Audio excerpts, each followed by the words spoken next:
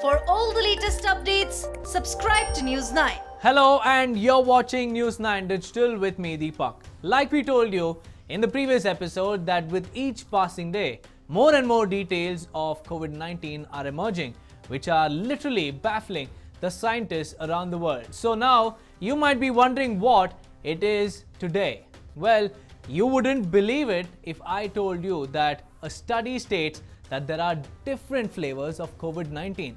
Just like we've seen different types of cancer in humans, scientists claim that there are different types or flavors, like they would like to call it, of COVID 19. So, according to the new data that may someday allow coronavirus treatments to be targeted at the specific molecular changes making a person sick, to learn more about why only some coronavirus patients become severely ill, researchers studied patients' blood transcriptome, the complete set of genes that are activated in immune cells in the blood. So they found at least five types of immune response against the coronavirus, which not just includes mild and severe, but others as well. So let us now go across to uh, an epidemiologist and ask him if there are different types of COVID 19 immune responses, like we have different types of cancers. Yes, different types of immune response in the sense that some of them are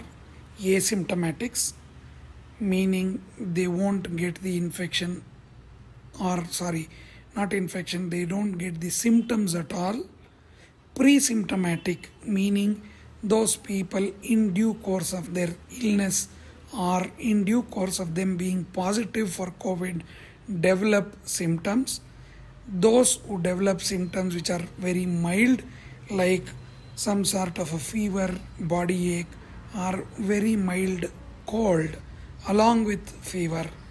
Moderate, some who, who might have some kind of breathlessness when they move around or severe when they have resting breathlessness, severe fever, and uh, some kind of cough, cold, etc. So there are different immune responses. The immune responses is indicated in terms of them developing symptoms or not developing symptoms, developing symptoms of different grades in terms of severity like mild, moderate, severe. Well, the experts believe that these conditions could help in developing tailor-made therapies. So, doctor, again, could you tell us how can tailor-made therapies help COVID-19 patients? See, already the therapies are actually categorized into category A, category B, and category C treatment, and these are actually based on the immune response or the kind of symptoms the individual develop and also certain signs. For example, somebody who is having no symptoms but they are positive for COVID 19, and those who are having very mild or mild symptoms are given category A treatment.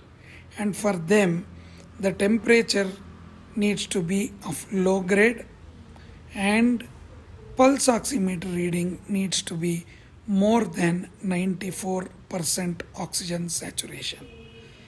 Category B treatment is for those who are having moderate symptoms or the immune response is depicted as moderate symptoms.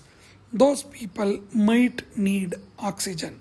So, in a way, in summary, therapies are already, the current protocols are already based on the different immune responses which the body of a particular individual shows and the kind of symptoms or signs which come up. So there is already these tailor-made therapies.